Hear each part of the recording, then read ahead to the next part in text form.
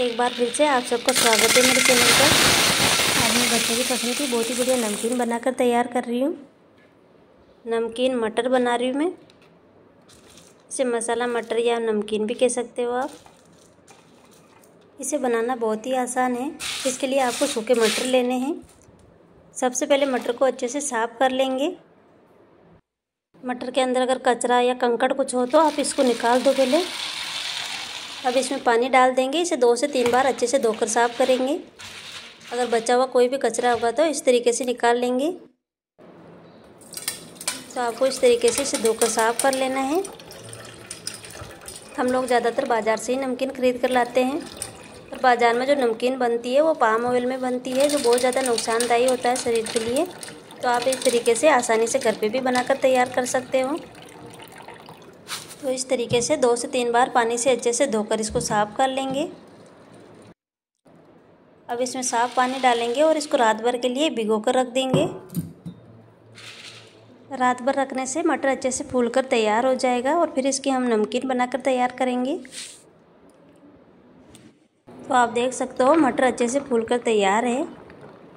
आपको देखने से ही लग रहा होगा ये साइज़ में भी दुगना हो गया है। अब मटर को अच्छे से सुखाना है, इसमें बिल्कुल भी पानी नहीं रहना चाहिए। इसके लिए एक मोटा टावल लेंगे। इसमें मटर डाल देंगे, इस तरीके से इसको थोड़ा पोच लेंगे। आप चाहो तो इसको थोड़ी देर के लिए धूप में रख सकते हो तो जल्दी ही सूख जाएँगे। तो सारे मटर को इस तरीके से तैयार कर लेंगे। देखो, कोई भी काम करने में थोड़ी सी मेहनत तो आपको करनी ही पड़ेगी। तो इसमें कुछ ज़्यादा भी मेहनत नहीं है। और हम बच्चों के लिए इतना तो कर ही सकते हैं। अब इसमें ज़्यादा कुछ नहीं करना है, बस इसको तलकर तैयार कर लेंगे। फिर थोड़े से मसाले मिलाएँगे और नमकीन तैयार है। तो चलते हैं गैस की तरफ़, इसे तलकर तैयार करेंगे।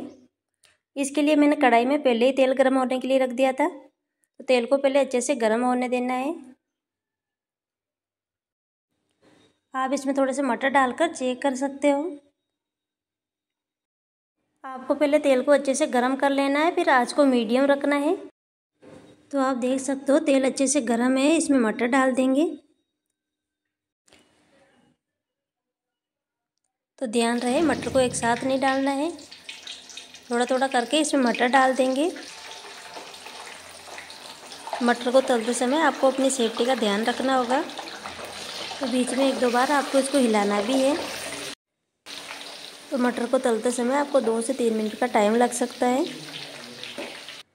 तो बाकी के बचे हुए मटर भी इसी तरीके से तलकर तैयार कर लेंगे।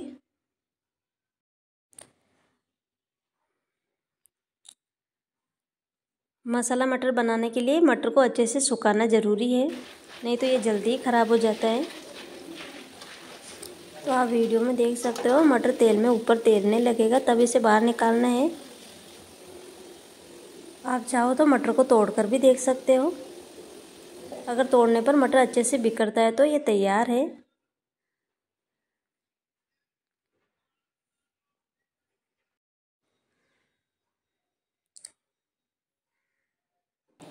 तो आपको इसकी आवाज़ से ही लग रहा होगा, ये कितने खस्ता बने हैं।